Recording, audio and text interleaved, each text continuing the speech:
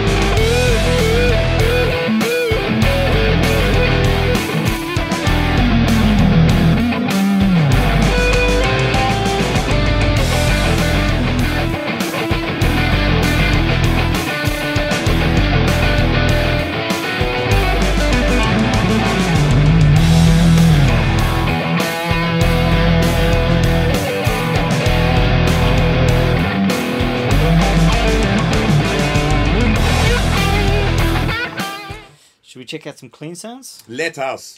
So setup, we're going as usual um, into. I'll do it today just for something Oh, different. Uh, into the Mozztronics amp switcher. Hi Andrew. Uh, into a one x twelve uh, cabinet uh, with a greenback in it. That's right. Mic with a Lewitt MTP 440. Hi Lewitt people. And we also have the two notes cab the Captor X uh, blenderized in it. Yeah. And the reverb you hear uh, is from the Captor X. Um, so we've got the, the real speaker and the two and a Hmm. virtual speaker with the stereo reverb blenderized together. And Bonjour Guillaume at two notes. It's very good. Did I remember all that? except for what amp we're using. Oh yes, true. and we're using a, a Ceriatone Otis Mini 20, which is a Fender style Dumble kind of Dumble Fender kind of vibe. Did good, did good. Thank you, thank you. Which was selected by the Mozztronics amp switcher. He usually does it, so you know. anyway. So um, let's start on the bridge pickup. Obviously, both P90s, as you can see, with chrome covers, yes, which looks cool. I like. and uh, that. play some clean stuff.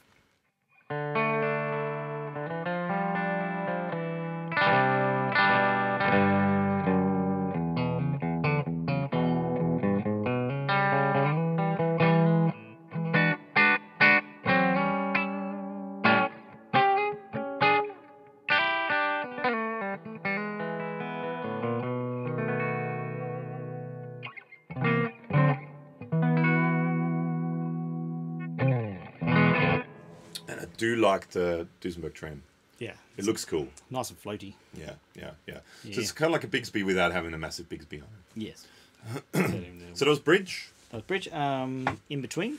Yes, please.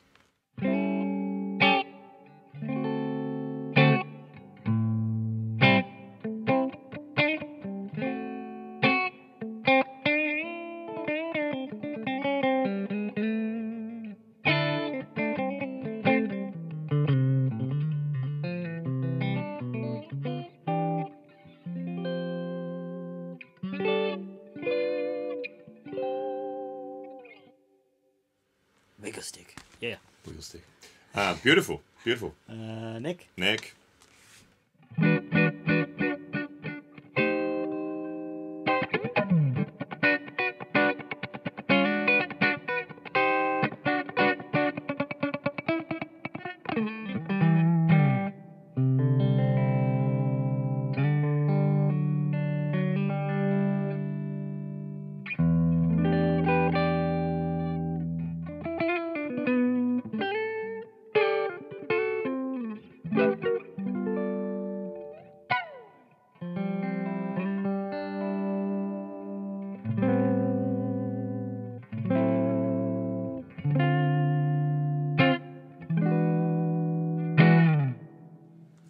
Sounds lovely.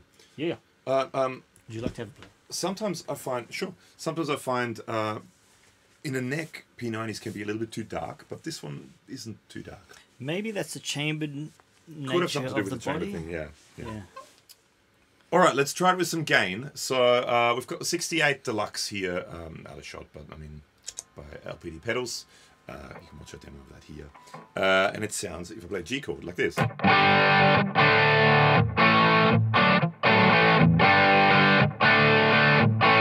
Has that P90's bark? Yeah. Which is really cool. I really dig that.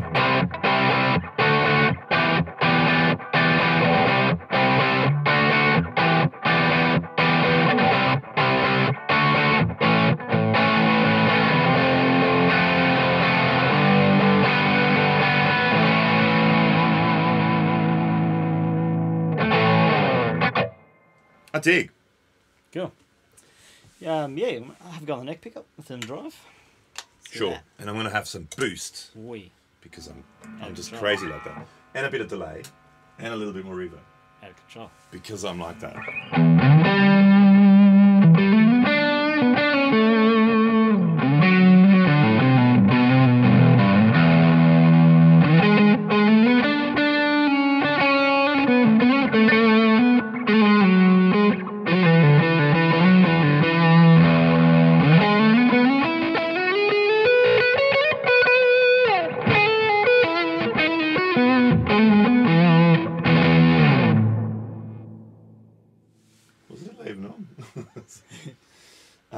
I dig it. Yeah, it's a cool sounding guitar. It plays nice.